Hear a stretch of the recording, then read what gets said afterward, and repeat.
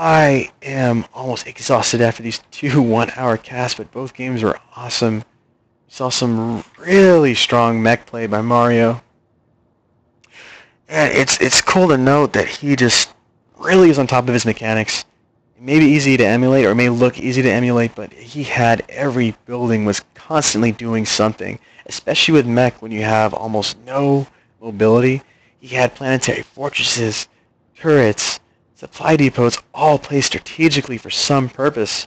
And it really all plays towards that super late game that really what it's what mech is designed for. But either way, very good games. I'm going to take a short break before getting into the next game.